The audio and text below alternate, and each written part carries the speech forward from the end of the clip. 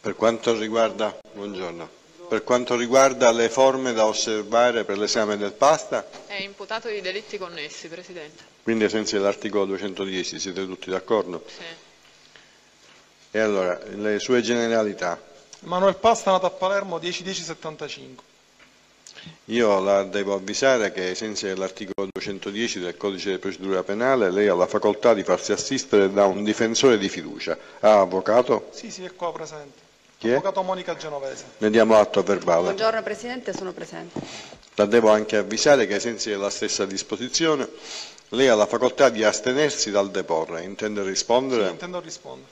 Prego, pubblico ministero.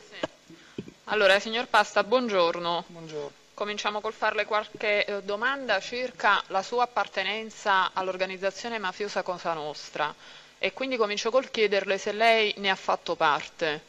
Sì, ne ho fatto parte a partire dal 2007 in maniera eh, concreta e fattiva.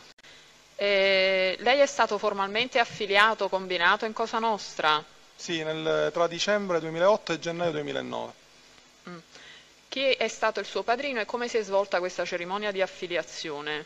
Per quanto riguarda la mia affiliazione è stata fatta, eh, il mio padrino è Bartolo Genova, nipote di, Sal- di Salvatore Genova, è stata fatta in una casa di Villa Tasca ed erano presenti eh, altri soggetti, alcuni sono a piede libero, se lei mi autorizza io faccio i nomi. Per Sì. quelli a piede libero no. Quindi c'erano presenti Andrea Quattrosi della famiglia di Resuttana, eh, Bartolo Genova e poi altri soggetti appartenenti a un'altra famiglia che sono a piede libero. Se ci specifica chi è Bartolo Genova, che ruolo ha all'interno di Cosa Nostra? Bartolo Genova a partire dal, dopo l'arresto di Salvatore Genova ha preso la reggenza del mandamento di Resuttana e poi è stato combinato formalmente dall'architetto Giuseppe Liga che è il capomandamento di San Lorenzo. Lo era già al tempo della sua affiliazione l'architetto Liga, capomandamento di Sì, assolutamente sì. Tommaso Natale. sì.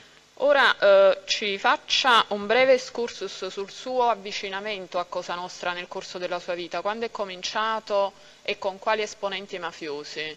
Diciamo Prima, prima di andare avanti vorrei sapere se su queste cose ha già risposto nel corso di quell'interrogatorio di cui è stato acquisito il verbale, perché dico, altrimenti lo abbiamo acquisito inutilmente. Eh, Quindi- con qualche precisazione ce la Eh, potrebbe allora fare, vada tanto subito, sarà breve. vada subito quindi alle precisazioni. Sì. Quindi con quali soggetti ha cominciato ad avere a che fare con Cosa Nostra? Eh, quando ero piccolo mio padre era vicino a Salvatore Biondo il Lungo di San Lorenzo Detto? Eh, Barbazza lo chiamavo Barbazza, il lungo, Salvatore Biondo detto il lungo e quindi mio padre aveva un'attività, una palestra, l'Antares, ma di fatto era un prestannome della famiglia di San Lorenzo, quindi Salvatore al Biondo e all'interno della palestra venivano periodicamente vari soggetti, come ad esempio Calogero Lo Piccolo, Sandro Lo Piccolo, Enzo Di Maio, Salvatore Biondo, Michelangelo Camarda, vari esponenti di Cosa Nostra che spesso si intrattenevano con mio padre, quindi fin da piccolo sono cresciuto in questo contesto. Mm. Poi crescendo, eh, poi sono stato sempre vicino alla famiglia Biondino, in quanto con Giuseppe Biondino, figlio di Salvatore Biondino, c'è un'amicizia fin da quando eravamo piccoli, ho frequentato quella casa fin dai primi anni 90. Amicizia che poi è continuata nel tempo, fino ai giorni nostri, quindi fino ai giorni dell'arresto di, di- Giuseppe Biondino che è avvenuto nell'operazione Perseo. Eh, A quale famiglia mafiosa appartengono i biondino di cui sta alla parlando? famiglia mafiosa di San Lorenzo. Eh, lei nel corso della, eh, del suo avvicinamento a Cosa Nostra ha curato la latitanza di alcuni esponenti mafiosi? E se sì chi? No, io non eh, mi dovevo occupare della latitanza di Salvatore Genova e di Calogero Lo Piccolo. Avevo provveduto a fare i documenti a Salvatore Genova e a Calogero Lo Piccolo, Documenti falsi? documenti falsi, le carte d'identità e le patenti. e l'arresto di, di di Salvatore Genova e di Calogero Lo Piccolo avvenne i primi di gennaio, e più precisamente un martedì. Me lo ricordo perché la domenica mattina mi sono visto al Charleston con Salvatore Genova che lo dovevo portare via per la latitanza e lui mi disse aspettiamo qualche giorno perché Calogero verrà pure con me. Eh, qua abbiamo aspettato quei giorni in più, invece poi lo hanno tratto in arresto. Come era già a conoscenza di questi arresti? Come che vi incontravate per poi prospettare la cura della Salvatore Genova mi di- diceva che c'erano degli arresti in corso in quanto lui aveva una fonte non meglio precisata che già gli aveva annunciato questi arresti, solo che la fonte, eh, chiaramente lui non mi ha detto qual era la fonte, cioè il nome, il cognome della persona, gli dava sempre un arco temporale, tipo di 10 giorni, di 11 giorni, E quindi settimane. quest'arco temporale era dal Già dai primi di gennaio lui mi diceva che c'erano in corso, eh, sarebbero stati degli arresti, tant'è vero che lui eh, era, in, alcuni giorni prima era andato in ospedale e si era fatto ricoverare, ma era una scusa per, ca- per potersene andare in caso direttamente dall'ospedale. Lui la domenica mattina, quindi due giorni prima dell'arresto, doveva andare via già con me perché la casa era pronta sia a Petralia sia a Palermo. Eh, io avevo provveduto a fare i documenti a Calogero Piccolo, però Calogero Piccolo inizialmente non, dovevo, non la dovevo curare io la latitanza. Poi lui mi disse in quella fattispecie, quindi quella domenica mattina presso il Charleston, che Calogero Piccolo in quel momento non si fidava di nessuno, si fidava solo di Salvatore Genova e quindi sarebbe venuto pure con noi. Infatti la mia riflessione fu, detto, dico, è ancora più complicato dico, dice, eh, la gestione della latitanza, detto, dice comunque deve venire con noi. Mm. Poi il martedì li hanno tratti in arresto. E questi due appartamenti di cui ha parlato a Via Perez e a Petralia eh, erano nella sua disponibilità? Allora, a Via Perez c'era proprio il contratto, c'era il contatto a nome mio, era tutta arredata, ma era una cosa di appoggio perché poi sareb- saremmo andati a Petralia in quanto mia suocera, i parenti di mia moglie sono di quelle parti, già c'era una casa eh, a Petralia eh, sottana, già arredata e con la spesa fatta. Mm. Lei ha detto di essere stato affiliato a gennaio 2008. Quali Tra dicembre erano? 2008 e gennaio 2009. Sì.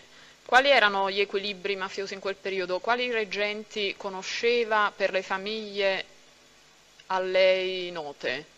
Eh, poi le, le, le, famiglie di Palermo sono tutti i reggenti eh, che, erano che, erano in quel momento attivi e poi con alcune famiglie, in modo particolare San Lorenzo e Santa Maria di Gesù, eh, diciamo che conoscevo tutto l'organigramma perché erano delle famiglie a noi particolarmente vicine e alleate.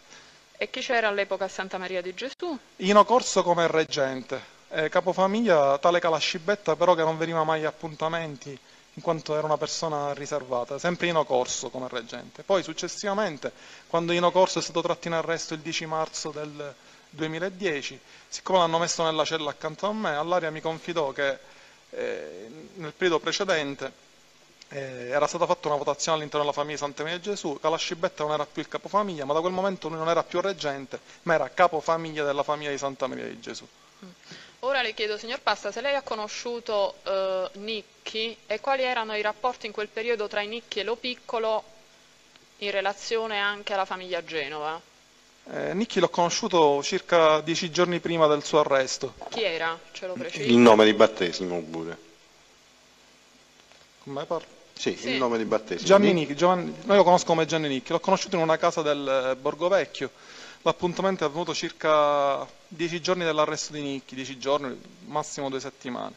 Eh, l'appuntamento avvenne appunto in questa casa del Borgo Vecchio dove era presente il reggente di, della famiglia di Portanuova, che non nomino perché è a piede libero, eh, la famiglia di San Lorenzo, la famiglia resuttana rappresentata da Bartolo Genova, eh, c'era pure eh, io e altri, e altri, due soggetti in Resuttana che sono a piede libero, quindi che non nomino. Eh, e Gianni Nicchi era, si era accompagnato con una persona pure dalla famiglia di Pagliarelli, che è pure a piede libero. In questo contesto si parlò, oh, in quanto eh, Bartolo Genova, che rappresentava Resuttana, non si era schierato né con uno né con l'altro, nel senso che con l'architetto Giuseppe Liga faceva capire che era vicino all'architetto Giuseppe Liga, quindi al suo schieramento. E a Gianni Nicchi, tramite il biondino, faceva capire che era pure con Gianni Nicchi. In una fattispecie, siccome in corso fece sapere a Gianni Nicchi che per qualsiasi cosa di Resuttana poteva parlare direttamente con Ino Corso. A quel punto Gianni Nicchi ha detto io devo parlare direttamente con Resuttana che, che è con noi o ho bisogno di parlare, per poter parlare con Resuttana mi devo rivolgere a Ino Corso. Quello quindi fu un appuntamento chiarificatore in cui Bartolo Genova mostrò eh, e disse a Gianni Nicchi che era con lui. A quel punto io che ero presente all'appuntamento eh, feci sapere all'architetto Giuseppe Liga, feci sapere a Ino Corso, a Andrea Quattrosi, questa situazione. Da quel momento eh, fece, fu fatto subito un appuntamento con Bartolo Genova e da quel momento Bartolo Genova, eh, l'architetto Giuseppe Liga gli ha detto da questo momento sei fuori famiglia, ti sei permesso di fare un appuntamento con Gianni Nicchi senza farmelo sapere in quanto l'architetto anche Ino Corso gli ha detto per qualsiasi appuntamento che vi viene portato non presentatevi all'appuntamento se non me lo fate sapere, tanto più che l'architetto negli ultimi periodi cercava un nuovo incontro con Gianni Nicchi e Gianni Nicchi a questo incontro non veniva. Loro si erano già visti, però cercavano un nuovo appuntamento dove doveva venire pure Ino Corso. Quindi dice mi rifiutano l'appuntamento a me e ci vai tu. Da quel momento Genova Bartolo e altri due soggetti di Resuttana sono stati messi fuori famiglia. E quindi non si dovevano occupare più di niente. In questi incontri chi rappresentavano eh, l'architetto Liga e Bartolo Genova a livello di reggenze? Mi scusi, eh, Publio. In questi incontri che ci sono stati, che ha Sì. appena menzionato, che ha appena raccontato, Tra eh, Bartolo Genova e, eh, chi rappresentava l'architetto Liga? Cosa rappresentava? e il capomandamento Di? cioè, di San Lorenzo, quindi quello, San Lorenzo Tommaso Toa, quello che fu prima dello Piccolo. Mm.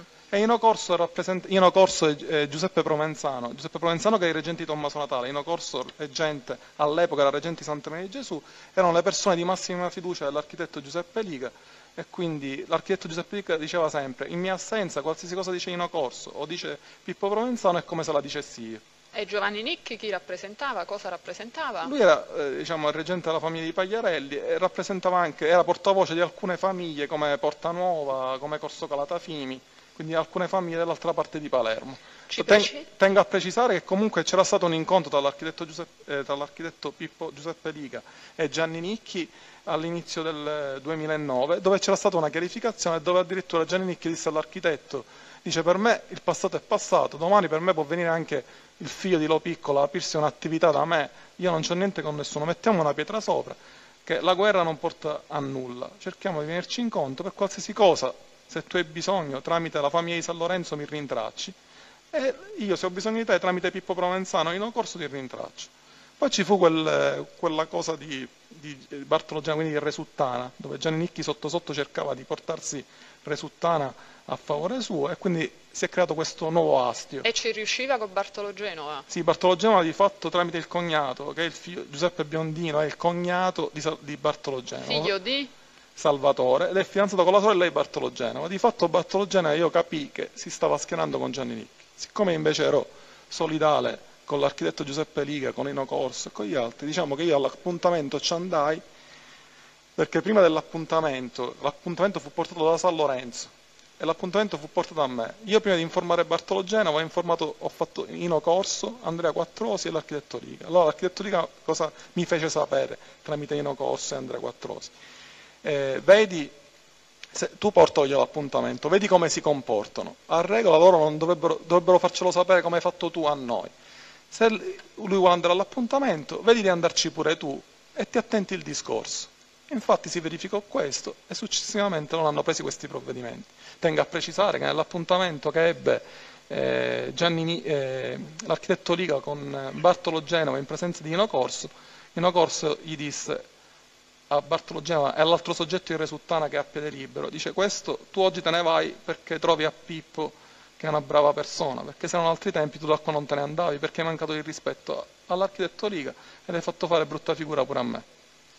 Eh, ce la spieghi bene questa cosa? Lei eh, ha detto che è rimasto fedele a Giuseppe Liga e quindi a quale linea rispetto a quella che- a cui stava tendendo Bartolo Genova? Lo schieramento sempre dei, diciamo, di Lopi, eh, l'architetto Liga rappresentava lo schieramento di Lo Piccolo e poi era comunque lui il fautore della nostra scalata, quindi era una forma di tradimento, se- secondo me secondo anche Andrea Quattrosi, soggetto pure fedelissimo ai Lo Piccoli, che- di cui ha curato la latitanza, e quindi a- addirittura Andrea Quattrosi, eh, secondo il suo modo di pensare, avrebbe, avrebbe agito in un'altra maniera al posto dell'architetto Liga, però l'architetto Liga era contrario a certi tipi di soluzioni. C'è da dire che è stata pure eh, la fortuna che poi subito dopo arrestano a Gianni Nicchi. Che significa questo? Quando, se lo ricorda? circa 10-15 gi- a dicembre, eh, eh, 10 giorni, due settimane dopo il nostro appuntamento, perché già loro si erano cercati tramite San Lorenzo un nuovo appuntamento con Gianni Nicchi. E a quel punto si sarebbe creato qualche astio più forte. Un dissidio più forte. Certo, perché a quel punto Gianni Nicchi avrebbe riconosciuto a Resuttana sempre Bartolo Genova, mentre poi da quel momento in poi ci sarebbe stato Andrea Quattrosi come reggente di Resuttana, nominato dall'architetto Giuseppe Riga. E si ricorda quali provvedimenti l'architetto Liga ha preso nei confronti di Bartolo Genova? Sì, l'ho detto, eh, nel- nell'appuntamento che ebbero nella- nel territorio di Santa Maria di Gesù, alla presenza di Nino Corso, gli fu detto da questo momento, Cioè si decise un appuntamento per discutere questa cosa? sì sì, l'ho detto prima, quan- dopo l'appuntamento eh, Bartolo Genova insieme all'altro soggetto di Resuttana fe- eh, cercarono Nino Corso, gli dissero sai ci ha portato l'appuntamento Gianni Nicchi, non abbiamo avuto il tempo di avvisarmi e ci siamo andati. Nino Corso già lo sapeva perché era stato informato da me. E lui disse vabbè non ti preoccupare, e ha fatto la faccia tranquilla. Infatti quando Bartolo Genova mi vide mi disse ma alla fine non si è incavolato. Ho detto, vabbè, il fatto che ride non significa che non si sia incavolato. Dopo qualche giorno in corso mi dice, vedi che c'è un appuntamento, portami Bartolo Genova a tale punto e precisamente alla rotonda di Via Oreto c'è un, una, una, pompa di benzina che c'è pure il bar, che poi lo lasci là che lo veniamo a prendere noi. A quel mm. punto io porto l'appuntamento a Bartolo Genova, Bartolo Genova un po' era preoccupato. Ho detto Bartolo, mi hanno detto che a tale orario ti devo portare là. Il resto non lo so, devi essere presente tu e l'altro soggetto il risultato. Quindi l'ho accompagnato all'appuntamento. Eh. Venne Andrea Quattrosi, venne Peppuccio Labocchiaro della famiglia Sant'Antonio Gesù, si sono portati a lui con l'altro soggetto di Resuttana che attualmente è al piede libero.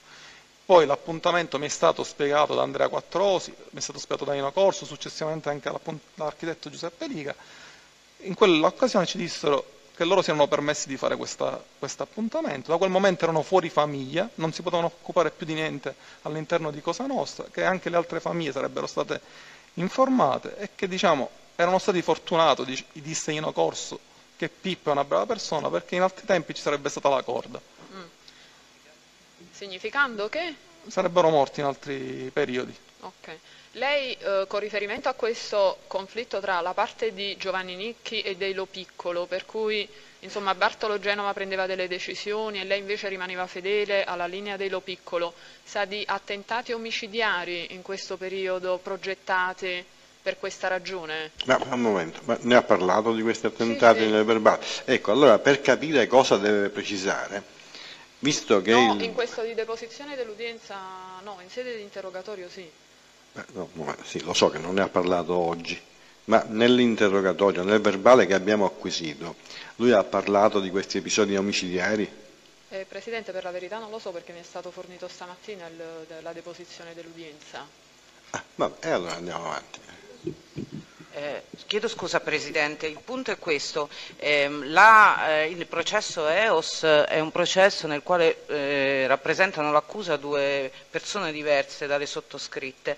Noi di questo processo abbiamo avuto solo ieri in tarda mattinata la trascrizione del verbale, quindi abbiamo dato il consenso perché sappiamo che è comunque utile ai fini di una valutazione complessiva, ma non conosciamo nel dettaglio quali sono gli argomenti e i temi trattati per cui eh, ci preme comunque fare, per quanto ci hanno assicurato che è stata una deposizione molto complessa e articolata, però ci hanno comunque eh, Mi rendo conto. Questa rendo proposta conto. è stata fatta solo stamattina, quindi non vorrei che ci sfuggissero dei temi che comunque ci, risulti, sembrano no, Andiamo avanti allora.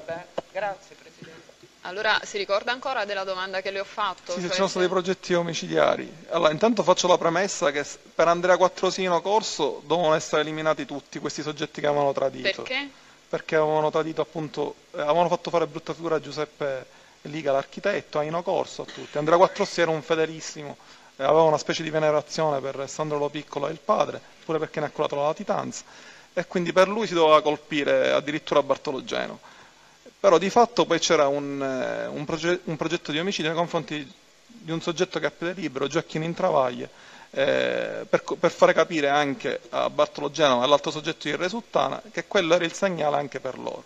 Omicidio che comunque doveva essere portato a termine addirittura nei primi di marzo, mentre che ero in, in carcere, e mi fu confermato da Ino Corso, perché a questo omicidio partecipava anche, aveva dato il benestare, chiaramente anche l'architetto, eh, avrebbe partecipato anche la famiglia di Santa Maria di Gesù, quindi eh, in, questo, in, questo, contesto gli esecutori sarebbero stati proprio personalmente Andrea Quattrosi, Ino Corso, eh, Peppuccio Labocchiaro e presumo Mario Napoli avrebbe fatto parte del, del comando. Poi, eh, giusto giusto, in quei giorni hanno tratto in arresto Ino Corso, perché erano i primi di marzo, e quindi mi si è saltato, ma sicuramente sarà portato a termine ugualmente da Andrea. Tant'è vero che dopo la mia collaborazione sono stati tratti in arresto anche Andrea Quattrosi, anche per, perché c'era questo rischio di, di omicidio. In particolare per Andrea Quattrusi, lei sa della disponibilità di armi da parte di questo soggetto e dunque da parte della famiglia di Resuttana? Sì, aveva delle armi che, della, per conto della famiglia, de, che aveva armi custodite per conto dello piccolo. Quali eh, armi e chi le custodiva? Eh, lui non mi disse il punto esatto dove le custodiva, proprio perché sono domande che non si fanno. So che erano delle persone di fiducia eh, due soggetti che lavoravano forse in ospedale, grazie all'intercessione dello piccolo, le, le avevano sistemati eh, c'erano pistole, fucili, mitragliatori. Eh, se Ah, si ricorda che tipo di armi era? Io ho Eh, visto soltanto quattro armi eh, perché quelle che si devono, quando noi siamo diciamo, usciti per eseguire l'omicidio di Michele Pellitteri, il giorno che si doveva eseguire l'omicidio di Michele Pellitteri, Altro che- attentato omicidiario. sì, quello, è stato, quello è perché- stato proprio un tentato omicidio che non è stato portato a termine perché nell'atto di compierlo eh, aveva il nipotino in braccio, quindi in quel momento i soggetti che erano- stavano per sparare, quindi eh, Mario Napoli e Carlo Giannusa, eh, chiaramente vedendo il bambino, eh, hanno fatto un nuovo giro, aveva sempre il bambino vicino e hanno ritenuto, eh, visto il rischio che si poteva correre di prendere il bambino, di, di ritornare. Ma eravamo presenti sul posto io, Andrea Quattrosi, Bartolo Genova, diciamo tutto il gruppo di Resuttana. E le motivazioni quali erano? La motivazione è che Michele Pillitteri faceva estorsione senza autorizzazione, prendeva soldi delle estorsioni, eh, non, non arrivavano per i carcerati ma li prendeva lui, non aveva nessuna autorizzazione, si era costituito un gruppo di due o tre persone che andava per le impalcature e addirittura andò a, a fare Cioè a chiedere il pizzo nelle Sì, sì, ristrutturazioni? nelle ristrutturazioni. Per, questo intende per impalcature? Sì, l'impalcatura dei palazzi di ristrutturazione, addirittura in un caso questi due soggetti furono pure tratti in arresto, io non so come si chiama.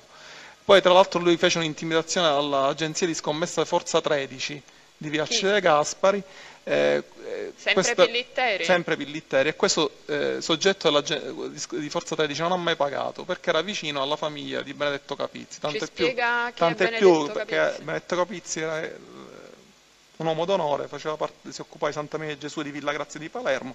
E all'interno di questa agenzia la- lavora un certo Tafuri, che poi noi abbiamo siamo venuti a sapere che era un nipote di, di Benedetto Capizzi. Infatti quando ci fu questa intimidazione, eh, Benedetto Capizzi rintracciò Maurizio Spataro e Maurizio Spataro venne a cercare di corso a Bartolo Genova e in quell'occasione io cenavo a casa di Bartolo Genova con mia moglie e quindi no- noi non ne sapevamo effettivamente niente come Resuttana. Poi tramite il territorio abbiamo scoperto che fu Michele Pellitteri che addirittura poi si presentò di presenza alla, da Forza 13 per chiedere l'estorsione. Mi- Michele Pellitteri, Michele l'omicidio fu eh, previsto, è stato prima avvisato più di una volta, fu avvisato da Michele di Trapani di cercare di comportarsi bene, di non fare Gli più avevate fatto cose. pure dei segnali prima di procedere Sì, a gli questo era stato, inf- tentativo? è stato dato alle fiamme due volte la carnezzeria, gli era stata bruciata una macchina davanti alla carnezzeria, poi volta gli è stato dato fuoco, poi erano state fatte croci eh, con lo spray. Poi lui si andò a cercare Michele di Trapani, Michele di Trapani si vide con Genova Bartolo e anche con me, disse che gli aveva parlato che non sarebbe successo più niente e lui incominciò a continuare. A quel punto fu inter- interpellato anche l'architetto Giuseppe Liga. L'architetto Giuseppe Liga dopo qualche giorno ci siamo visti e ha dato il benestare per l'omicidio. A quel punto. Tornando all'architetto Liga, Un momento, un Giuseppe momento. Eh, Tutto quello che lei ha detto in quale anno si verifica? Liga, Ce lo dica. Nel corso del 2009. E tornando all'architetto Giuseppe Liga, da chi è stato scelto e quando l'ha conosciuto e che ruolo aveva? Da chi è stato scelto? Liga, a capomandamento di Tommaso Natale, come ha detto prima. Eh, Lui chiaramente ci disse, ce lo confidò pure Pippo Provenzano, ce lo disse Nino Corso, che era una persona che rappresentava i Lo Piccoli, che era un personaggio storico, che era stato- si era tenuto sempre riservato. Eh, veniva riconosciuto da tutti, da tutte le famiglie, quindi per essere riconosciuto come... Ed era reggente o capofamiglia? E qual è la differenza? Lui è il capomandamento, cioè lui aveva il ruolo dello piccolo, in quel momento storico, cioè nel momento in cui io ho fatto parte di Cosa Nostra, significa che tutte le famiglie, eh, diciamo tranne San Lorenzo, perché poi i biondini si staccarono, mentre sotto l'egemonia dello piccolo i biondini fu- furono mes- messi da parte, nel senso che poi con l'intervento di Giovanni Giacalone addirittura consegnarono il libro mastro, insomma non si interessava più niente, appena ci furono tutti gli arresti loro scesero di nuovo in campo perché avevano l'appoggio di Gianni Nicchi. Quindi sì, avevano rapporti con l'architetto Liga, ma i, i soggetti che facevano riferimento realmente a lui erano Resuttana, Tommaso Natale, Sferracavallo, tutti i paesi della Pone Torretta, Carini, eh, Cinisi, tutta questa parte hanno sentito l'egemonia diciamo, dell'architetto Liga.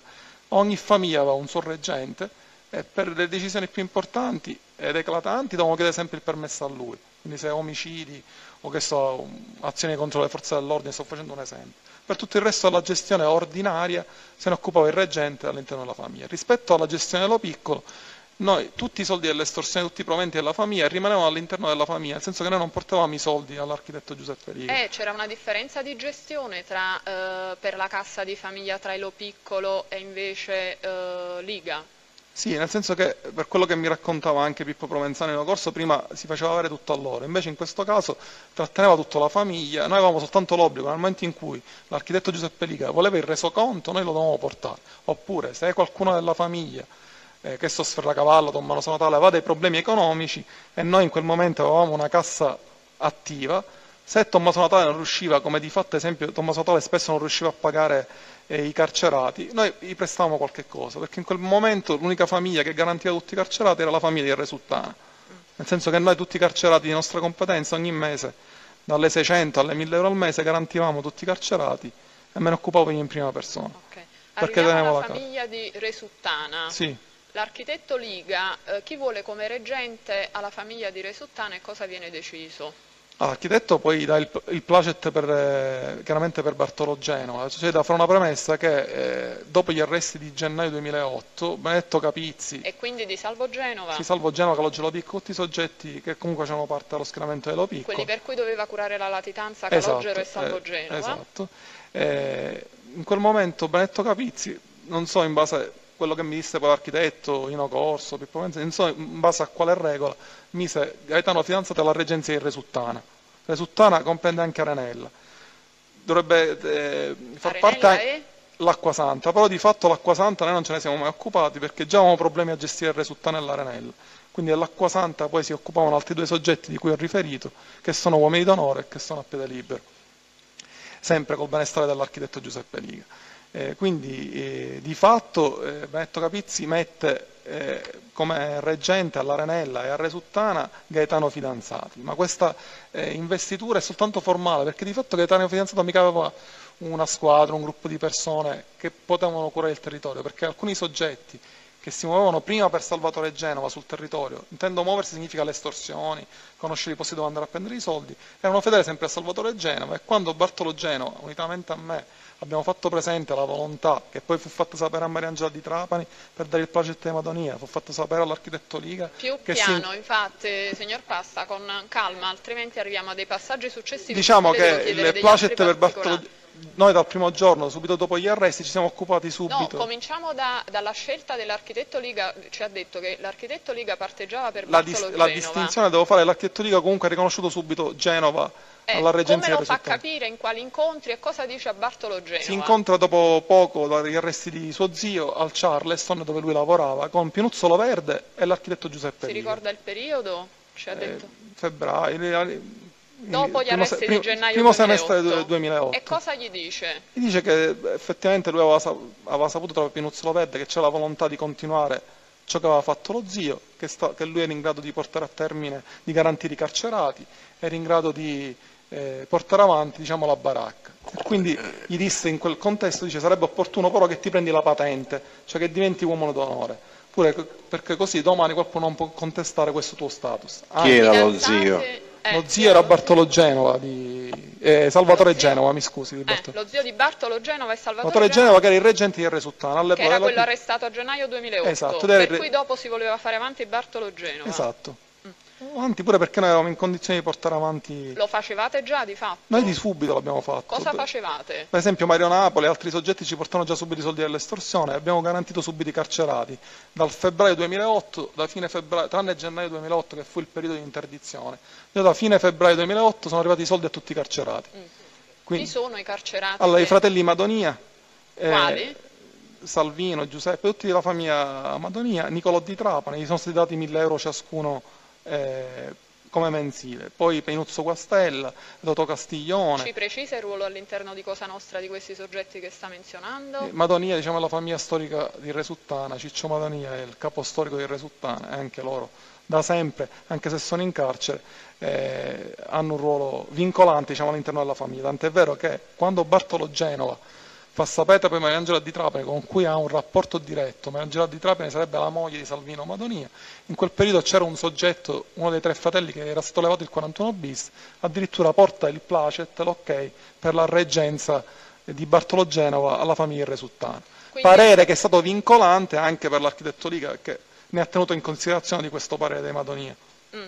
Andiamo un attimo indietro, stiamo al momento in cui l'architetto Liga dice a Bartolo Genova se ti pigliassi la patente è meglio. Rispetto a fidanzati, qual era la differenza tra fidanzati messo da Benedetto Capizzi e Bartolo Genova, sponsorizzato dall'architetto Intanto Liga? tengo a precisare che Benedetto Capizzi non poteva mettere che era una fidanzata a Resuttana, questa è già Eh, la prima E anomalia. come mai E infatti poi l'architetto Liga eh, ha chiama- questo potere? Chi è Benedetto Capizzi? Benedetto Capizzi periodo? si era messo in testa di riformare la cupola, di riorganizzare, lui si riteneva il numero uno in quel momento di Cosa Nostra a Palermo e invece poi ha trovato l'avversione dell'architetto Liga e capì che con l'architetto Liga c'era una serie di famiglie, che poi l'unione delle famiglie fa la forza, più famiglie vicino. Con l'appoggio di chi Benedetto Capizzi aveva il progetto di ricostituire Su questo n- Nostra? non le so rispondere, so solo che l'architetto mi disse che era Benedetto Capizzi, che si era improvvisato, ci fu una riunione. Con non questo intendimento, con questo progetto? Sì, lui voleva riformare di- la, riformare la cupola e cercava di mettere persone sue nelle varie famiglie. Chiaramente Gaetano Fidanzati era una persona sua. Però Gaetano Fidanzati era uomo d'onore, ma era uomo d'onore della famiglia di Bolognetta. Quindi di- anche di fatto lui a Resuttano non ci poteva mai andare.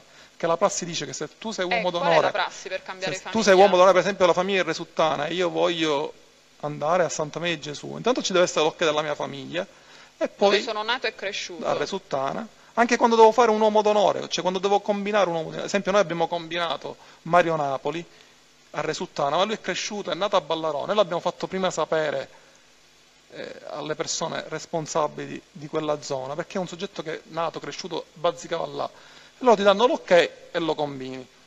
Ma se tu sei uomo di Bolognetta non ti puoi andare a, a occupare di Resuttana, assolutamente no. Quindi lui tentò di, di Resuttano, non riuscì a portare a termine niente perché non aveva nessun controllo sul territorio, tutti gli uomini che erano fuori erano fedeli a Bartolo Genova in quel momento. E lui incominciò a, tentare di fare qualcosa all'Arenella, unitamente a un gruppo di persone che noi erano? d- abbiamo definito l'armata Brancamano, Nino Caruso, Perché? eh, Agostino, eh, noi lo chiamiamo Basettone. Agostino Pizzuto, le dice Pizzuto. qualcosa? Eh, misero pure un- tu- Nino Caruso invece chi era? Nino Caruso è un soggetto che lavora a Villa Sofia e che si conosceva molto bene con Gaetani Fidanzati e si era prima vicino diciamo, a Salvatore Gemona, fra virgolette, ogni tanto gli portava la macchina, ma non era uno appartenente a Cosa Nostra. Quindi questo gruppo, Michele Patti, eh, Giovanni Milano, eh, il Pizzuto, Erano vicini? si eh? sono messi vicino a Gaetani Fidanzati e in testa loro dovevano organizzare una specie di famiglia. E Ma in no, quale famiglia operavano? cerca- lo- teoricamente partiva dal presupposto anche di Resuttana, ma non ci sono riusciti. Sull'Arenella incominci- attent- cominciano a fare qualche estorsione, andare in una costruzione, in un palazzo che stavano costruendo, ma il costruttore si rivolse subito a noi. e Eh, ci abbiamo- racconta questa vicenda della palazzina all'Arenella? La palazzina, se voi mi autorizzate, ci sono delle indagini in corso da parte del dottore Paci di questo Eh, costruttore. solo genericamente, che lavori vi erano? C'era un palazzo che, che erano iniziati i lavori e c'era un accordo all'Arenella già ai tempi di Lo Piccolo con Salvatore Genova dove questo costruttore doveva dare 100.000 euro per queste costruzioni ed era un prezzo di favore perché questo costruttore era vicino agli ambienti di Cosa Nostra. Ma lei queste cose come le sa? Del costruttore eh, per fatti diretti da Salvatore Genova e poi il costruttore l'ho conosciuto personalmente pure io successivamente. Sì, Presidente, non andiamo oltre nell'esame perché è oggetto di indagine. Ci fece avere infatti 10.000 euro come acconto e poi ci doveva far avere una tranche di 40 e un'altra di 50. Poi ci furono una serie di interventi di soggetti Cosa Nostra e gli furono levati 20.000 euro di sconto. Quindi c'era questa costruzione in corso e Gaetano Fidanzati si presentò addirittura in prima persona direttamente dal costruttore. Quindi loro cercavano di muoversi, ma noi, messo, noi avevamo un soggetto che era Maurizio Spataro, che era vicino a Gaetani Fidanzati e, diciamo tra virgolette, attentava tutti i discorsi che gli faceva Gaetano Fidanzati e lo teneva sott'occhio. Tra l'altro c'era un altro soggetto che era Sergio Giannusa, che faceva parte della famiglia di Resuttana, che non è uomo d'onore, che era del territorio dell'Arenella e quindi andava ad eh, controllare tutti i movimenti che facevano questo gruppo di persone, perché c'erano anche altri soggetti, un certo Ettorino, che io non conoscevo, Eh, eh, che non ho mai conosciuto, che sapevo che era pure vicino a Gaetano Fidanzati. Poi Allora- Gaetano Fidanzati fu, gli fu detto chiaramente dall'architetto Giuseppe Riga e addirittura in un'occasione Nino Caruso si stava, si stava interessando di alcuni lavori all'interno del CTO, dove deve sorgere un bar, eh, ristorante, perché insomma, Nino Caruso che lavoro faceva? lavorava a Villa Sofia. E quindi Gaetano Fidanzati aveva detto, vedi, occupatene tu. Abbiamo chiamato Nino Caruso, io e un altro soggetto eh, di Resuttana, che in quel momento diciamo, era il vice di Bartolo Geno, e abbiamo detto, dici al- a Gaetano Fidanzati che non esce più di casa, e tu non ti immischia, dici che non si immischia più in niente. Proprio è stato detto chiaro, perché Gaetano Fidanzati forse era ancora confuso in quel momento.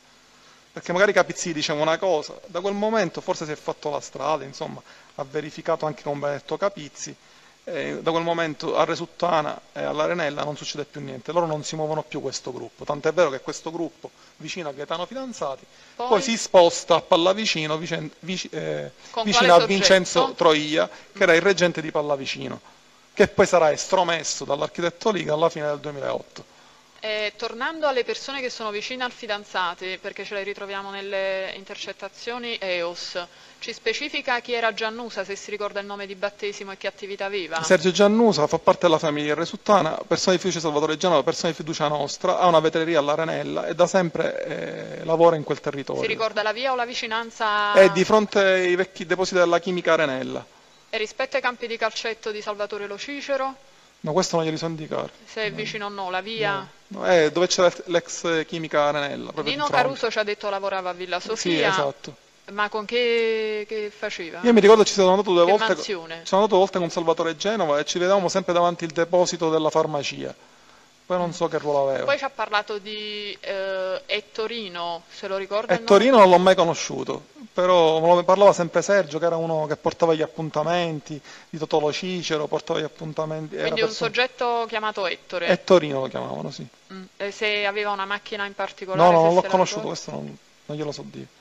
Va bene. Arriviamo alla eh, reggenza di Bartolo Genova e Andrea Quattrusi. Qual è il passaggio? Allora, ripeto, eh, Bartolgeno di fatto dopo gli arresti si occupa subito di Resuttana, poi viene combinato formalmente in Cosa Nostra alla fine del 2008, un mese prima di essere combinato io. Poi a dicembre 2009, dopo l'appuntamento che lui ha fatto con Gianni Nicchi, viene fatto l'appuntamento, come ho detto l'architetto Liga in corso, e viene estromesso. Da dicembre 2009 il reggente della famiglia Resuttana è Andrea Quattrosi, uomo d'onore combinato formalmente dall'architetto Giuseppe Riga. Con riferimento al libro mastro della la Cassa di Famiglia di Resuttana, di Resuttana chi l'ha tenuta? L'ho tenuta, se... l'ho tenuta io fino a ottobre 2009, poi visto che io ero uscito sui giornali, più precisamente su Est, con le dichiarazioni di Maurizio Spataro, eh, ho detto ritengo che sia un soggetto che possa essere arrestato io, quindi è inutile che mi tengo la cassa e queste cose. Le ho consegnate ad Andrea Quattrosi, cassa e, e il libro mastro, che poi era un'agendina. Ci ricorda come compilava la cassa e con quali pseudonimi indicava le ditte la, storte? La cassa la, la, compilavo io e rendevo edotto del metodo ad Andrea Quattrosi, così in caso di arresto lui era in grado di poter capire. Noi non scrivevamo mai i nomi degli esercenti, mettevo pseudo, pseudonomi. Tipo? Tipo, se, che so, Schillaci, giocatore Juventus. Che indicava? Burin, Schillaci Scarpe, Tatiana Timberland, perché è unico proprietario e pagava due volte l'anno e quindi essendo l'unico proprietario noi sapevamo a chi si riferiva. Ad esempio Bulling ci scrivevamo palla, poi c'era un panificio in via Alcide Gaspare che è di un, altro, di un ex giocatore del Palermo, Vasari, e quindi noi ci mettevamo Palermo. Io, però erano un, dei nomi che metto io e che capivo solo io. Quindi se domani venivano in mano alle forze dell'ordine, con la scritta palla non potevano andare dal proprietario del bullying. E Mela? E Mela sarebbe il Golden per esempio perché c'è la mela golden, allora facevo questo connubio e quindi il golden. E carne per esempio, mettevo golden, carne, era la carnezzeria vicino al golden, di tutti i nomi in maniera di non farli eh, rintracciare. Per quanto riguarda poi la contabilità, noi eh, su questo libro masso scriviamo soltanto quanto pagava, Pasqua e Natale, mettevamo P più N. Poi la contabilità, diciamo periodica, veniva buttata, onde evitare eh, il fatto che si è verificato con l'arresto dello piccolo di trovare tutta la contabilità. Significa che se io dovevo incassare per Pasqua 100.000 euro, per dire, quando arrivavo al saldo, cioè avevo incassato i soldi, pigliavo e strappavo tutte cose. Poi era un rapporto di fiducia tra chi teneva la cassa, nella fattispecie io, e il mio reggente. Senza e questo quindi come una forma di cautela rispetto a quello che era successo con lo piccolo? Esatto, perché chiaramente quando noi scriviamo eh, la contabilità diciamo periodica, e mettiamo pure chi li va a prendere. Allora a quel punto buttavamo tutte cose. Il conto eh, appattava per 100.000 euro. E a quel punto buttavamo tutte cose. Noi avevamo tanti riferimenti che in caso mi, io non avevo bisogno neanche di riferimenti perché me li ricordavo tutti a memoria. Però se mi restavano a me, ad esempio Andrea Quattro si doveva essere in grado con quei riferimenti di continuare l'attività estorsiva. che poi è la fonte di guadagno per garantire i carcerati.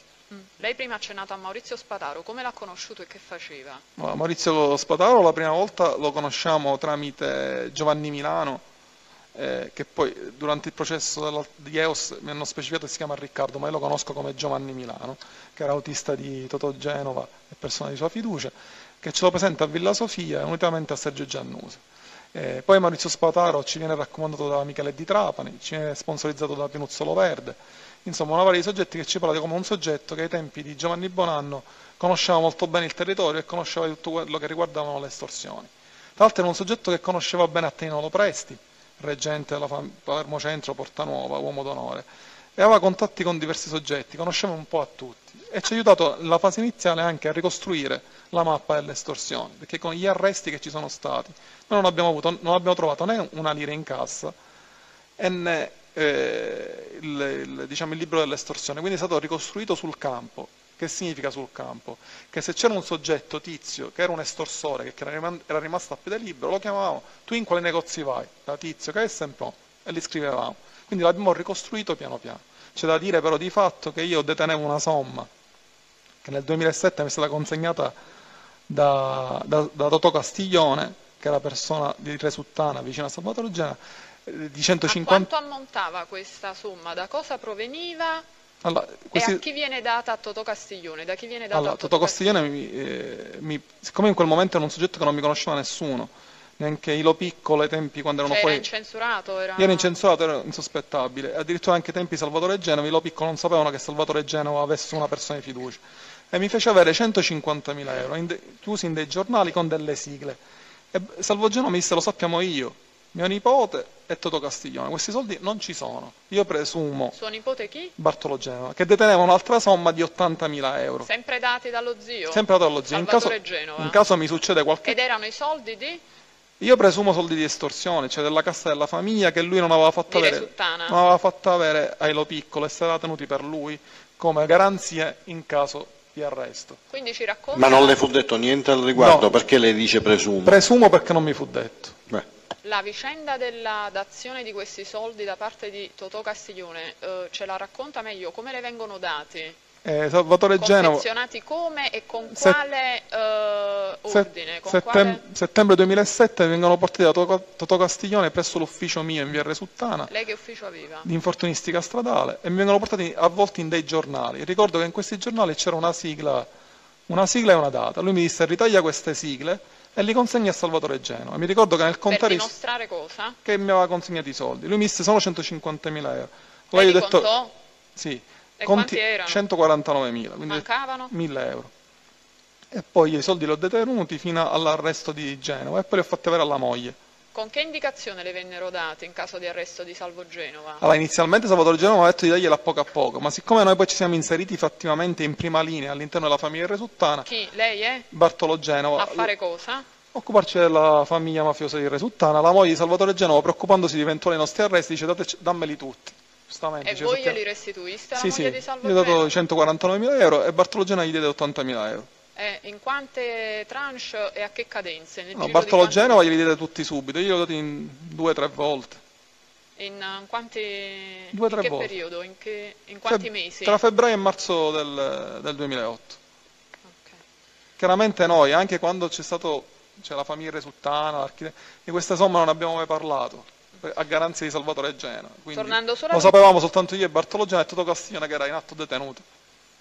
Eh, tornando solo a Maurizio Spataro per un particolare, lei ha detto era sponsorizzato da Michele di Trapani e Pino Loverde. Quando viene arrestato chi provvede al suo mantenimento in carcere? E provvediamo noi, alla famiglia Resuttana. Cioè la gli, famiglia diamo, Resuttana. gli diamo 800 euro al mese più le spese dell'avvocato che pagavamo direttamente noi. Ora, eh, con riferimento alla famiglia di Resuttana di cui ha parlato, ce ne può eh, delineare i confini e la storia quindi delle reggenze sinteticamente per come finora esposta? In ordine al periodo in cui sono stato io? Prima i confini. Eh, I confini risultano da, diciamo, da via Ingegneros, che è la delimitazione con San Lorenzo, fino al, praticamente via Libertà, al Politiama. Poi ci sono state tipo via Asciuti, via Terrosanta, che c'è un marciapiede Resuttana e un marciapiede Cruillas. Quindi il mandamento di L'acqua santa e l'Arenella vi sono comprese? L'Arenella era sotto il nostro... Storicamente Arenella, eh, intanto storicamente Resuttana dovrebbe fare mandamento a sé e sotto di sé dovrebbe avere Arenella e Acquasanta. Poi con l'avvento di Nelo Piccolo il risultato praticamente fa, fa parte direttamente sempre del mandamento di San Lorenzo. Cioè viene inglobata nel mandamento di Esatto. San Lorenzo? Però nella nostra gestione dell'Acquasanta non ce ne occupiamo, Arenella dà conto e ragione a noi. Infatti i soggetti che si occupano dell'Acquasanta si- si occupano anche dell'Arenella nell'ultimo periodo e i proventi dell'Arenella vengono dati a Resuttana. Con riferimento a Sferracavallo, Torretta, Pallavicino, di quale mandamento fanno parte? Sempre Tommaso Natale San Lorenzo e facevano capo a- all'architetto Giuseppe Liga. Con riferimento solo alla eh, sua conoscenza per altri reggenti, alla famiglia San Lorenzo e a Tommaso Natale, a Pallavicino chi c'erano? San Lorenzo è un soggetto a piede libero, se voi mi autorizzate io lo dico. No.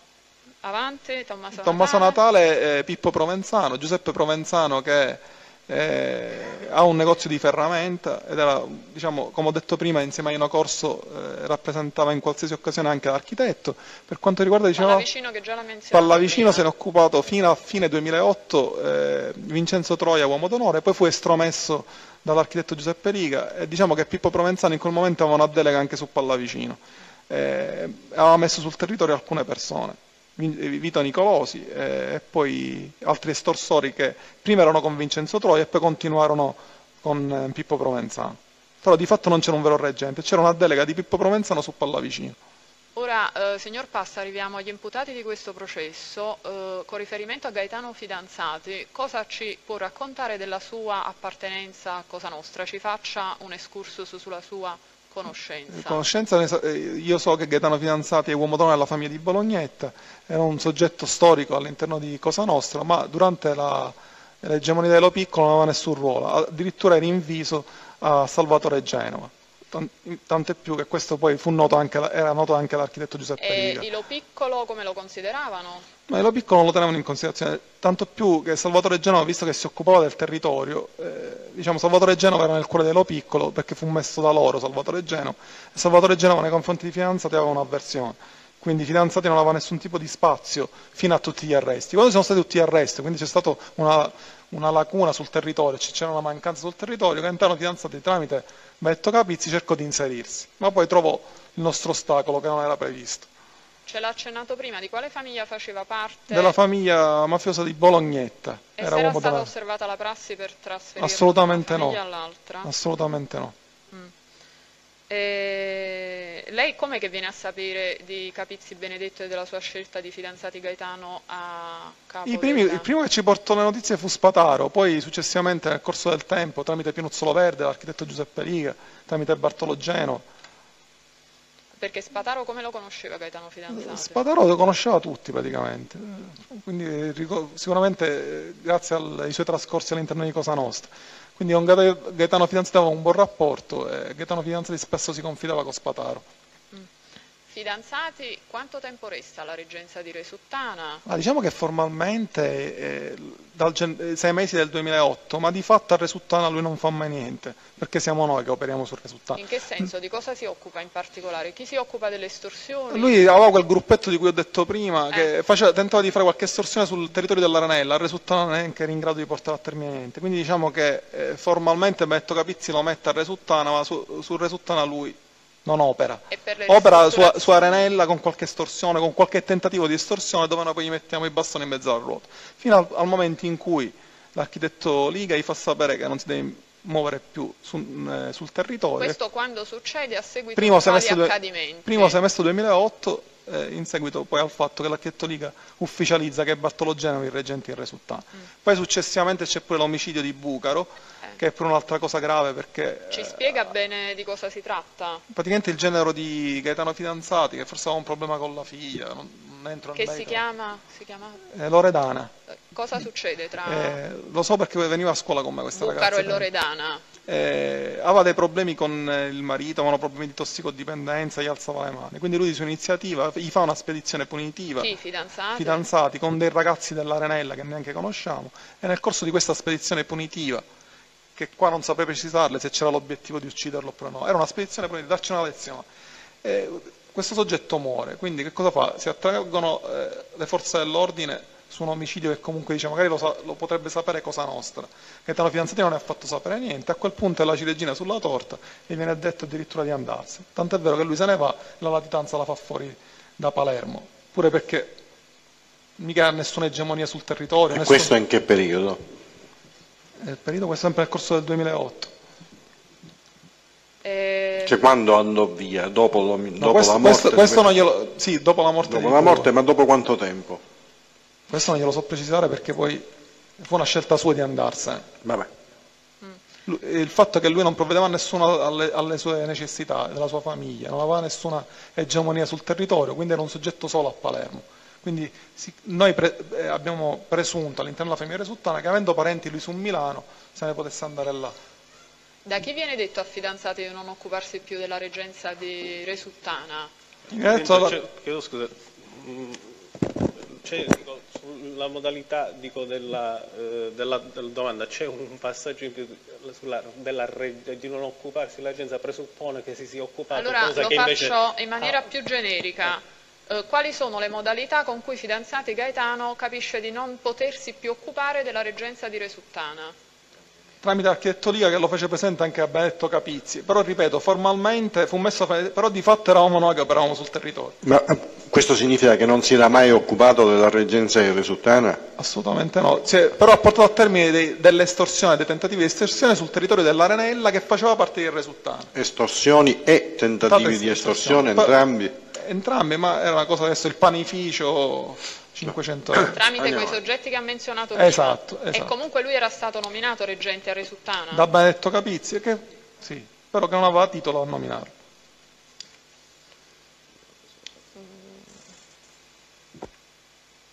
Cosa succede dopo che Gaetano Fidanzati viene praticamente estromesso dalla reggenza di Resuttana? Per Continuiamo i sempre. soggetti a lui vicini e Per i per a lui-? Noi continuiamo a fare quello che facevamo, quindi per noi non è cambiato niente di fatto. Eh, avevamo un pensiero meno. governavate pure l'Arenella a quel punto? A quel punto sì, diciamo che avevamo queste camurrie, fra virgolette, di questi soggetti che ogni tanto si improvvisavano ad andare a fare estorsioni. E quindi, cosa pensaste di fare di questi soggetti? Di- No, questi soggetti noi non ne abbiamo dato mai confidenza. Poi questi soggetti, eh, cadendo Gaetano Fidanzati, si avvicinano a Pallavicino a Vincenzo Troi e iniziano a lavorare per conto di Vincenzo Troi. Poi Vincenzo Troi cade in disgrazia, quindi magari porta- eh, non portavano tanto fortuna. Vincenzo Troi alla fine 2008 viene levato dalla reggenza di Pallavicino e alcuni continuano con Pippo Provenzano e altri addirittura rimangono senza lavoro. E quindi a Resuttana chi succede a Gaetano Fidanzati nella reggenza? Bart- Bartolo Eh, Genova. un momento, la domanda così è posta male, perché ha già chiarito che l'aveva di fatto non si era mai occupato della reggenza a Resuttana. Nominato da Benedetto Capizzi reggente di Resuttana. Ma così ha detto che non si era mai occupato di fatto.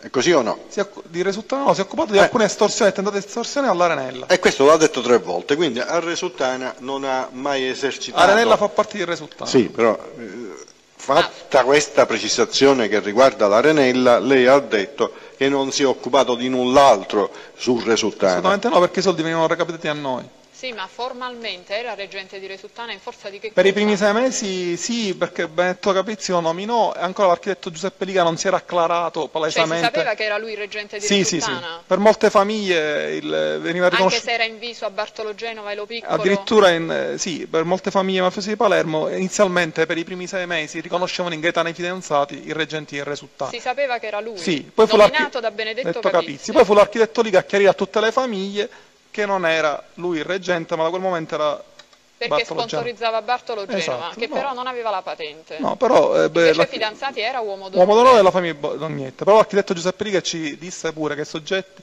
nella storia anche altri soggetti che non erano uomini d'onore, Per eh, raccontare. sì, potevano stare alla reggenza. Però era l'ideale prendersi la patente perché, eh, diciamo, nel si- senso si- di si- combinazione in Cosa Nostra, di esatto, affiliazione a esatto. Cosa Nostra, si, per... si sistemava ed aveva un ruolo più E riconosciuto. perché lo diceva Bartolo Genova? Di, di- Sì, perché ci fu questo discorso della patente? Perché dice domani se mi arrestano a me non, ci siamo- non c'è nessuno, qualcuno si può appigliare al fatto che non sia un uomo d'onore e sia la reggenza di una famiglia. E anche con riferimento al fatto che era stato scelto fidanzati, c'entrava qualcosa? Fidanz- eh, giustamente Alla reggenza di Resuttana, Benedetto Capizzi rispetto- poteva far presente all'architetto Liga che non era uomo d'onore, ma questo non significa nulla perché se per questo neanche Gaetano Fidanzati poteva essere reggente di fidanzati perché era uomo d'onore della famiglia di Bolognetta. Quali erano i rapporti tra fidanzati e lo lei conosce lo Cicero Salvatore? Chi era? Io personalmente non lo conosco lo Cicero Salvatore, Cosa andava- sa di lui? Bartolo Genova andava, andato a qualche appuntamento con lo Cicero Salvatore, è una persona di massima fiducia ai tempi di Ciccio Madonia, era, eh, Cioè, quale ruolo ha all'interno di si Cosa occupava Nostra? dell'Arenella ai tempi di Salvatore Genova. Eh, con quale ruolo? Che Era uomo d'onore, uomo d'onore si occupava proprio del territorio dell'Arenella. Vicino- Ed era so- eh, sotto le dipendenze di Salvatore Genova, che poi era sotto le dipendenze di Lo Piccolo. E lei come lo sa questo? Questo è- è- me l'ha detto Bartolo Genova, me l'ha detto poi l'architetto Liga, me l'ha detto Pippo Pinuzzolo Verde. Ed era una persona infatti che l'architetto Liga ci diceva di rispettare. Infatti inizialmente la Totolo Cicere si doveva occupare dell'Arenella, però lui ci disse a Bartolo Genova in un incontro che aveva un processo in corso per sequestro dei beni, Di grossa beni che erano? proprietà immobili per diversi Di- milioni di euro. Cioè erano suoi personali? No, sono dei Madonia. Lui è un prestannome da sempre dei Madonia e quindi si spaventava andare in prima linea, dice metto a rischio tutto quello che ho. E quindi il... Poi l'altro è anziana, va delle sofferenze. qual era il rapporto tra Gaetano Fidanzati e Salvatore Lo Cicero nella reggenza di Resuttana? No, non c'era, c'era uno, Totò Lo Cicero di fatto non si voleva occupare neanche lui di niente, mentre i fidanzati se ne voleva occupare, ma fra di loro non correva buon sangue neanche, tra Lo Cicero Gaetano Fidanzati. Addirittura in un primo momento fu pensato di mettere a Totò Lo Cicero come reggente in Resuttana, cosa che poi non andò neanche in porto. Anche se sul territorio ogni tanto girava la voce che era Totò Lo Cicero eh, il capo della famiglia Resuttana. Quando uscivano i giornali e scrivevano di fidanzati, di Lo Cicero, diciamo che a noi stava bene, perché hanno detto così gli inquirenti si convincono che Sì, Totò Lo era- Cicero e Gaetano Fidanzati, non siamo noi che ci occupiamo del Perché Resuttana. formalmente erano loro. Eh, Ce ne occupavamo noi, però c'è stato questo equivoco di fidanzati, che è stato comunque nominato formalmente, e poi addirittura ci fu anche l'equivoco su Totò Lo Cicero che si occupava di Resuttana, ma era Bartolo Genova che se ne occupava. Che tipo di equivoco? sul fatto che Totò Lo Cicero eh, fosse anche lui reggente di Resuttana. E questo equivoco come, da cosa nasce e come viene risolto? Ma questa è da voce all'interno di Cosa Nostra perché ci fu una riunione, eh, non mi ricordo in che periodo, tra varie famiglie di mafiosi di Palermo e che pensavano di mettere a Totò Lo Cicero, sempre su, eh, dal punto di vista dell'idea di Benedetto Capizzi, che Totò Lo Cicero era anche un soggetto di esperienza. Poi fu l'architetto a chiarire tutti questi aspetti. Totò Lo Cicero poi addirittura si tirò indietro e quindi neanche entra più in campo da quel momento in poi. Ora, eh, fidanzati e Lo Cicero, gerarchicamente rispetto a Lo Piccolo come si ponevano?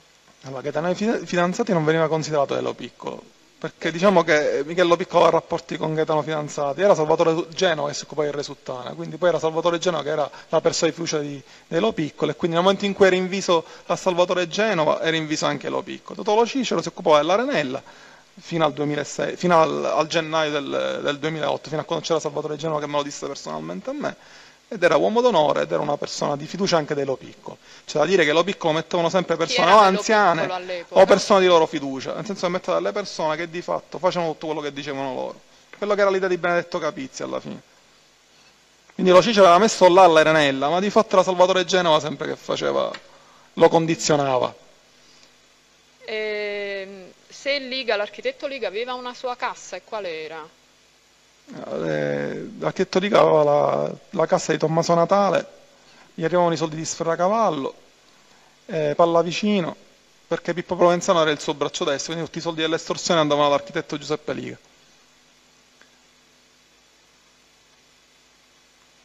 Ah, se ricorda dove lavorava Bartolo Genova Al Charleston a Mondello, all'Euro Yachting.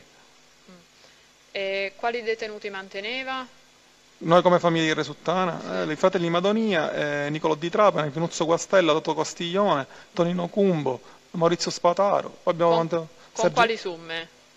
Allora, Cioè, che, per quali ammontare allora, di somme? eh, i fratelli Madonia e Nicolò Di Trapani prendevano 1000 euro al mese, Pinuzzo Guastella 500-600 euro al mese, Toto Castiglione 800 euro al mese, eh, Tonino Cumbo 800 euro al mese, eh, Maurizio Spataro 800 euro al mese più le spese dell'avvocato Ruta, Sergio Giannuzza 600 euro al mese più le spese dell'avvocato Ruta, Gioacchino Morisca, detto Toto India, 600 euro al mese più le spese dell'avvocato Ruta. Eh, in questo momento non, non ne ricordo altri.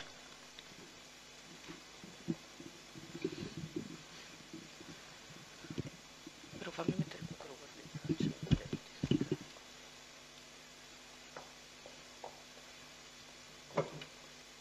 Sì, qualche domanda anche da parte mia, Presidente, grazie. Allora, signor Pasta, più lentamente però, Sì, sì, eh? Va bene. Allora, mi interessa capire una cosa. Intanto lei prima ha riferito che deteneva la cassa di Resuttana. Chi è che le ha dato questo incarico? Bartolo Genova.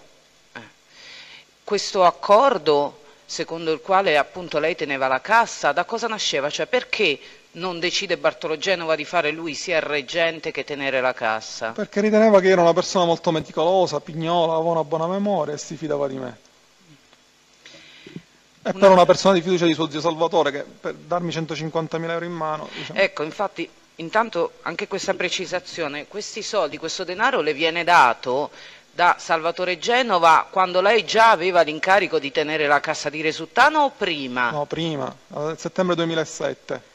Era una persona di fiducia riservata di Salvatore Genova. Oh, quindi lei nel settembre 2007, quando quindi ancora neppure i Lo Piccolo sono stati catturati, Esatto.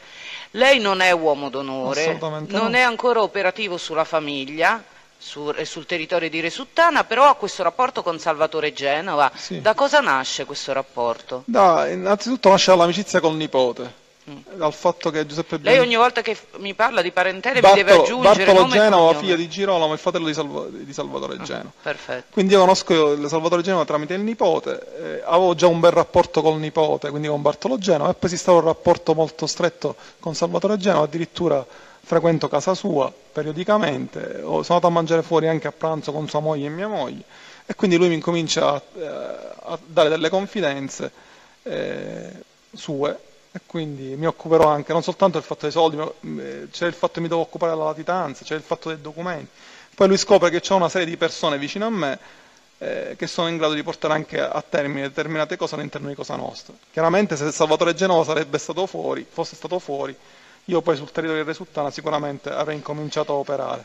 Già le, Salvatore Genova le aveva fatto qualche proposta di essere inserito all'interno di Allora, Cosa Nostra? Salvatore Genova mi diceva, siccome sei una persona intelligente, ti presenti Mm. bene perché ti devi andare a bruciare sul territorio con certe cose, ti tieni una persona riservata ed è una cosa migliore. Ad esempio per la latitanza io non posso andare sul territorio e poi mi occupo della lat- latitanza.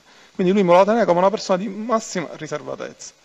Questo denaro le è stato consegnato prima dell'arresto di Salvo Genova? Settembre 2007. Il- il- eh, è- Salvo Genova le anticipò che le avrebbe fatto questa richiesta, le avrebbe consegnato qualcosa? Sì, me l'ha detto, ho detto guarda Eh. Manuel, siccome ho fiducia in te, sei un ragazzo in gamba, c'è questa somma di denaro che ufficialmente non lo sa nessuno, lo sappiamo io, tu, mio nipote, che ha pure 80.000 euro, Eh? e Toto Castiglione. Questo non lo sa nessuno, dice mi raccomando non lo dire a nessuno, pure perché si- ho capito che non lo devo fare sapere a nessuno perché non lo doveva sapere nessuno. Eh. In caso di mio arresto, mi succede qualche cosa, non si può sapere mai nella vita, eh, sappi che questi servono per aiutare a mia moglie. Quindi il fatto che Salvatore Genova le disse di non dire niente a nessuno le ha lasciato presumere che fossero soldi della cassa? Sì, pure perché Salva- detto prima. pure perché Salva- di ripetere. Pure perché Salvatore Genova era l'altro di disoccupato. questi, momento, tra l'altro di questi Genova non si parla nelle, nelle imputazioni, Tra l'altro Salvatore Genova era né nel contenuto né nella contestazione originaria a tutti gli imputati. Sì, lo capisco Presidente, ma io una valutazione sull'attendibilità del collaboratore la devo fare anche certo. sentendo la sua storia. eh. Sicuramente. Perché ma se una persona pare- che non è nessuno si se la sua esigenza è questa, gestore credo- della cassa di un mandamento... eh. se le sue domande hanno questa finalità, credo che abbia già risposto abbondantemente sotto questo profilo. Quindi, anche perché su questa, su questa consegna dei 150.000 euro ha già chiarito due volte le ragioni eh, per le quali entrò in possesso di questa somma. Va bene, Presidente. Era eh, disoccupato, quindi per questo ho pensato che no- non faceva nessuna attività lavorativa. Va bene. Poi mi serve di sapere un'altra cosa. Eh, quand'è- cioè, come funziona? Perché a un certo punto lei e Bartolo Genova, in considerazione del fatto che su Resuttana comunque c'era ufficialmente un reggente, come ha detto lei, che era stato nominato da Benedetto Capizzi, com'è che voi cominciate a pensare di diventare voi operativi sul territorio? Di- Cioè, avevate ricevuto un incarico da qualcuno oppure stavate facendo di testa vostra? Presidente, no, così posso, dico, so che dico, evidentemente, dico, anche se la domanda dico, è suggestiva, sicuramente l'imputato tirato adesso non si lascia suggestionare. Il, se- il- il- il senso è, siccome non ha mai detto dico, ufficialmente, perché No, l'ha detto, ha ripetuto più volte che ufficialmente era stato nominato reggente da Benedetto Capizzi. Dato ormai- vabbè, comunque eh, poi lo eh, appunto, poi in sede di contraesame decide. Dicevo, avete ricevuto un incarico da qualcuno o vi siete improvvisati voi a un certo punto? Allora- gestori del, del territorio di Resuttano. Il giorno dopo degli arresti di, de- di Salvatore Genova, io mi sono visto con Bartolo Genova presso il Charleston di Mondello e insieme abbiamo pensato, ora che dobbiamo fare? Dico, c'è mio zio, c'è Toto Castiglione, perché non portiamo avanti questa barca? Ne parlavamo con Bartolo Genova. E lui poi, nei giorni successivi, Aspetti, in questo momento voi sapete se c'è o meno qualcuno che è stato nominato reggente? l'indomani degli arresti ancora non c'è materialmente nessuno. Eh, quindi lui si incomincia a attivare tramite Michele Di Trapani, tramite Mariangela Di Trapani, successivamente poi con Pinuzzolo Verde, quindi poi incontra l'architetto, inco- noi incominciamo intanto ad avere il placet di Mariangela Di Trapani, poi abbiamo poi l'interessamento di Michele Di Trapani e poi successivamente quello di Pinuzzolo Verde. In questo arco di tempo però Benedetto Capizzi, quindi siamo già subito, fine Sì. gennaio, primi febbraio, nomina Gaetano Fidanzati come reggente eh, di Resuttana. C'è da dire che l'architetto Liga mica spunta subito, dopo qualche mese si acclara all'interno di Cosa Nostra a Palermo, c'è la sua figura. Molti Quindi- non lo conoscevano ancora, era una persona riservata dello piccolo. Ho capito. Un'altra domanda. In questo momento, cioè nel momento in cui lei e Bartolo Genova eh, decidete di rendervi disponibili e ottenete poi, come ha detto anche il placet ad altissimi livelli dei Madonia, eh, chi contattate per sapere quali, o sapete già quali sono i posti, i negozi, i cantieri che pagano l'estorsione, che pagano il pizzo o contattate qualcuno per farveli indicare? Allora, come ho detto prima, noi non avevamo niente in quel momento, perché non c'è rimasto niente. Noi, tramite il territorio, quindi tramite alcuni soggetti che noi sapevamo, tipo Mario Napoli, eh, Eh, Sergio Giannusa, eh, Gioacchino Morischi, sapevamo che erano dei soggetti che portavano a termine le estorsioni, li andiamo chiamando. Addirittura, ad esempio, Mario Napoli aveva dei soldi, Eh. 7.000 euro, 8.000 euro, che poi ci fece avere che li aveva di sopra, e non so a chi darli. Quindi ce li siamo Che vuol dire li aveva di sopra? perché aveva portato a termine, c'erano alcune attività che pagavano mensilmente, quindi a gennaio per esempio eh, il mensile loro intanto se lo andavano a prendere, poi dice appena ci sarà qualche soggetto che noi ci dicono che è il soggetto giusto consegniamo questi soldi. Ho capito. Quindi siamo cominciati a fare dire a tutti questi soggetti Giacchino Marisca, Giacchino Morisca eh, ha un soprannome? Toto India, si Ah. è fatto chiamare anche Toto Palma, insomma vari- il suo è un estorsore puro, si occupa solo di estorsione. di estorsione. È in questo momento che voi contattate Maurizio Spataro o eh, il rapporto con Maurizio Spataro risale a un momento antecedente? No, Maurizio Spataro, già noi a questi li contattiamo subito perché li conosciamo, poi successivamente Giovanni Milano pre- mi presenta a me, unitamente a Sergio Giannusa, eh, cioè presenta a me, a Sergio Giannusa, a Villa Sofia, eh, Maurizio Spataro. E che cosa vi dice? Che lui è in grado di indicarvi i luoghi dove raccogliere Molte le cose di mettersi a disposizione. Voglio fare una precisazione rispetto a prima, che Bartolo Genova, molte- eh, i soggetti che portavano a termine l'estorsione già li conosceva, non conosceva i posti, ma conosceva i soggetti. Conosceva Mario Napoli, conosceva un altro soggetto che è a piede libero. E quindi noi li siamo andati chiamando e siamo fatti dire tutte le attività dove loro andavano e abbiamo piano piano ricostruito diciamo, il libro mastro delle Perfetto. attività commerciali. Per quanto riguarda invece i suoi rapporti diretti con Maurizio Spataro, Maurizio, stato, eh, Maurizio Spataro, lei prima ha detto era eh, vicino a Gaetano Fidanzati? Si conosceva molto bene, infatti noi lo mandavamo sul territorio per prendere le confidenze da Gaetano Fidanzato. Eh, che vuol dire? Lei ha detto prima di atten- eh, a stare attento, qual era il ruolo? Cioè, che cosa Perché doveva fare Ma- Maurizio Spataro? Maurizio Spataro era, noi lo chiamavamo la cucchiaia di tutte le pignate, nel senso che lo conoscevano tutti, era ben voluto e quindi Gaetano Fidanzati era molto leggero nel parlare, gli raccontava magari la- il fatto che si vedeva con, con Benedetto Capizzi, il fatto che lui... Chi eh, si vedeva con Benedetto Gaetano Capizzi? Fidanzati. Eh. E quindi dava tutte le confidenze eh, su- su- sull'attività che lui stava incominciando a portare avanti. Eh. Perché lui inizialmente Gaetano Fidanzati ancora non sa Maurizio Spataro che si è avvicinato a Resuttana, quindi fa un- una specie di doppio gioco Maurizio Spataro. Oh, Si benissimo. fa il porta e rapporta. Questa cosa è molto importante, eh, eh, soffermiamoci proprio su questo punto. Che cosa in, in particolare le ha riferito Maurizio Spataro a proposito di Gaetano Fidanzati? Cioè, se hanno mai, eh, intanto di questo fatto della, della reggenza, ne ha mai parlato All- Gaetano Fidanzati con Maurizio Allora, Spataro? Io, io le faccio sempre una precisazione, che Bartolo Genova, anche se gli fu presentato, cioè Maurizio Spataro si avvicinò a Resuttana, su Maurizio Spataro Bartolo Genova aveva una grande opinione, perché Salvatore Genova ai tempi, c'è lo zio, di Bartolo Genova, l'aveva escluso dalla famiglia Resuttana.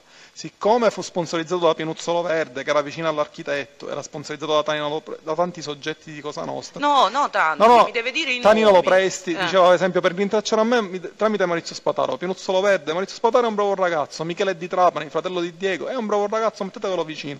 Allora io non Michele saputo- di Trapani è parente dei Madonia. Sì, so che sono cugini, non so, tramite Mariangela Di Trapani. Mm. Sì. Allora a quel punto lui dice mettiamocelo vicino, però a questo Maurizio Spataro non facciamoci tanta confidenza, tant'è vero che Maurizio Spataro inizialmente si convince pure lui che è Gaetano fidanzato il reggente di Resuttana. Eh. Mi spiego? Eh. Anche Maurizio Spataro si convince che Gaetano eh, eh, Lopresti, perché lui si vede con Gaetano Lopresti, Gaetano Lopresti dice sai mi hanno messo a Resuttana, No, Gaetano Lopresti. eh, Gaetano Lopresti, eh, Gaetano fidanzati, mi scusi. Lei parli lentamente perché sennò magari... Gaetano fidanzati e quindi gli disse che beh, Quindi Gaetano Fidanzati fa ufficialmente, per quanto ne- le- lei viene a sapere, fa la confidenza a Spataro. è lui il reggente di Resuttana. Oh, e dice anche chi l'ha messo Benedetto reggente. Capizzi. Oh. E Maurizio Spataro le riferisce poi questa cosa. a me e a Bartologeno. Voi e lei che cosa dice quando Maurizio Spataro le dice questo? Cioè, le, eh, fa finta di niente? Com- Come reagisce di fronte a questa confidenza che le fa Maurizio In quell'occasione parlava a Bartologeno e dice vabbè se ti ha detto lui così vuol dire che uno è pazzo e è responsabile di quello che dice, Eh. gli tagliamo il discorso. Poi lui si vedrà con Pinuzzolo Verde, Lui chi? Bartologeno Eh. e poi con Pinuzzolo Verde e l'architetto Liga si vedranno al Charleston dove chiariranno questo- questa situazione. Come, come lo sa collocare il periodo in cui eh, de- definiscono e chiariscono questa situazione? Sì, sempre il primo semestre del 2008, Poi un altro punto, che sono i mesi diciamo di confusione dopo tutti gli arresti. Maurizio Spataro si mette a disposizione sia vostra sia di Gaetano Fidanzati per quanto è a sua conoscenza. A disposizione nostra si ci mette sicuramente Eh. perché poi incomincia a fare pure l'estorsione e porta personalmente a me anche i soldi. Eh, con Gaetano Fidanzati ci, ci vedeva spesso, Si vedevano spesso. ma pure perché avevamo detto noi a quel punto di vista, vabbè, stai vicino anche allo zio Tanino, però noi lo filavamo a Maurizio Spataro. Quindi lui Eh, che vuol dire? Lo spieghi? lo filavamo nel senso che noi gli facevamo fare, gli davamo dei compiti senza sapere che lui faceva il portare rapporto a noi. Ho capito. E quindi lui sta come quello che poi abbiamo fatto con Sergio Giannusa, però senza filarlo, perché a Ser- Sergio Giannusa gli davamo fiducia, di stare sul territorio e controllare l'attività che svolgevano questi soggetti vicino a Gaetano Fidanzati. Perché poi a luglio del 2008 poi tra l'altro viene dato in arresto pure Maurizio Spataro. Ho capito. Un'altra domanda e poi ho finito. Invece per quanto riguarda Lo Cicero, sa se Maurizio Spataro conoscesse Salvatore Lo Cicero, frequentasse Salvatore Lo Cicero? Sì, lo conosceva Totò Lo Cicero. Maurizio Spataro conosceva quasi tutti, praticamente noi Cosa Nostra. E di Totò Lo Cicero le disse mai niente Maurizio Spataro? No, sapeva che pure lui sapeva che era una- un uomo d'onore e che era una persona storica all'interno di Cosa Nostra. Però diciamo che noi scherzavamo sul fatto che era vecchio, neanche poteva camminare, che insomma Eh. a un incontro con Bartolo Genova, Totolo Cicero, insieme a un soggetto che ha piede libero, Sì. gli squillò il telefonino. Bartolo Genova si alzò e se ne andò per farle comprendere diciamo, il soggetto che gli squillò il telefonino. Eh, E rimase, eh, ma- e finì a risata, nel senso eh, no, Sì, le deve, le deve spiegare queste cose perché eh, adesso noi magari un po' di cosa nostra ne capiamo, però un domani queste cose vanno... ci fu un le- eh. appuntamento vicino, non si- un- mi sembra Che il vuol dire che diventa una cosa comica il fatto che squilla un telefono? comica ma anche grave, che sia Eh. lui che il soggetto che era con lui, eh, che fa- era vicino a Totò Cicero, una persona sua che piede libero, eh, gli squillavano prima uno e poi l'altro i telefonini mentre c'è la riunione. Con chi? Con Bartolo Genova e altri soggetti che sono a piede libero. Oh, e perché fa una riunione Salvatore Lo Cicero con eh, Bartolo Genova e questi altri soggetti che sono a piede Perché libero? Totò Cicero era un soggetto che, si che poteva occuparsi dell'arenella sotto la nostra egemonia, però Ah. di Resuttana, però lui con quella problematica che poi esporrà del fatto che c'è il sequestro dei beni in corsi, è anziano, si spaventa di perdere tutto, di non mettersi in prima linea, fa due passi indietro. Ho capito. Poi un'ultima domanda. Lei prima, con riferimento all'incontro fra eh, Gioacchino Corso e, ehm, e Bartolo Genova e l'altro soggetto che è ancora a piede libero, quello che avvenne praticamente dopo l'appuntamento con Gianni Nicchi, lei ha detto che eh, la frase detta da Gioacchino Corso dice Pippo è una persona per bene, in altri tempi sarebbe finita diversamente, l'avremmo risolta con la corda. A quali altri tempi si riferiva? Al tempo dei Lo Piccoli, perché ad esempio eh, Ino Corso e anche Andrea Quattrosi, eh, per loro si doveva provvedere in un'altra maniera, invece l'architetto Ligo la pensava in maniera diversa. Ho capito. Va bene, non ci sono per ora altre domande, Presidente. Neanche per quanto riguarda i reati fine. Eh? No, neanche per quanto riguarda i reati fine, non è a conoscenza il collaboratore. Il- la parte civile deve fare domande? Presidente, ehm, verbale acquisito oggi dell'udienza del 6 di maggio contiene tutta una serie di domande sui commercianti estorti, sul numero dei commercianti, sulle cifre pagate, tutto- sulla cassa, tutto quanto, quindi mi- sono domande che sarebbero inutili perché già sono state Beh, fatte allora, i difensori degli imputati devono fare domande? Certo. Dieci, dieci minuti sono sufficienti.